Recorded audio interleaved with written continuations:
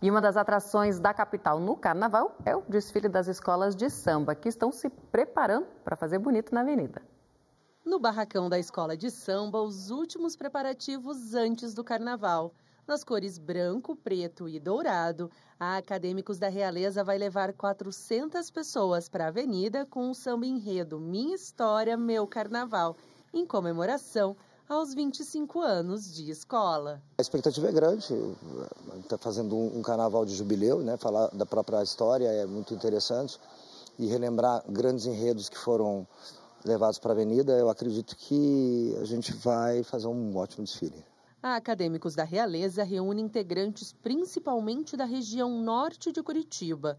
Eles já foram campeões dez vezes e nunca caíram para o grupo de acesso mas não conquistam um título há bastante tempo. Após dois anos sem carnaval de rua, a escola quer voltar com tudo este ano. Adrenalina, ansiedade, é, garra, força e a gente está atrás desse título há muitos anos e com certeza, se Deus quiser, a gente vai conseguir esse ano. A gente está se preparando bem para isso. Aqui na região sul, a Escola Imperatriz da Liberdade também se prepara para fazer bonito na Avenida Marechal Deodoro, onde estão marcados para acontecer os desfiles do grupo especial no sábado e no domingo. Se depender do pessoal daqui, o público curitibano pode esperar um carnaval cheio de alegria, empolgação e samba no pé.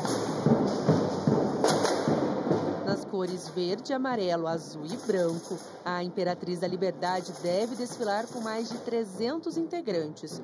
O samba enredo homenageia Oxum, que nas religiões de matriz africana é a rainha das águas dos rios e cachoeiras.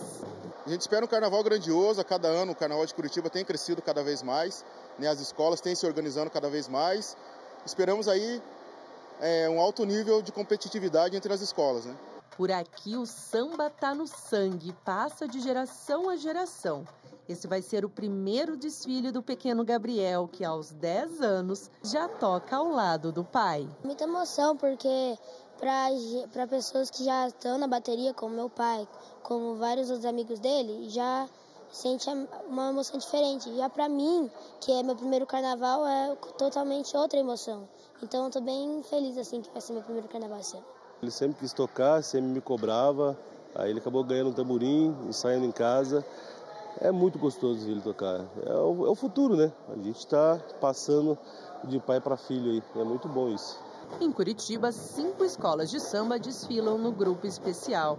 A Imperatriz da Liberdade está no grupo principal desde 2017 e sonha com o primeiro título. É uma emoção muito grande, né? Após dois anos de pandemia. Então é uma sensação de estar viva, ainda mais representando a Imperatriz, o meu pavilhão tão amado, né? E falando de Orixá, que é aquilo que eu acredito, é aquilo que eu vivo, né? E nós prometemos para Curitiba um carnaval muito cheio de amor, muito cheio de alegria e muito cheio de respeito para todos os curitibanos.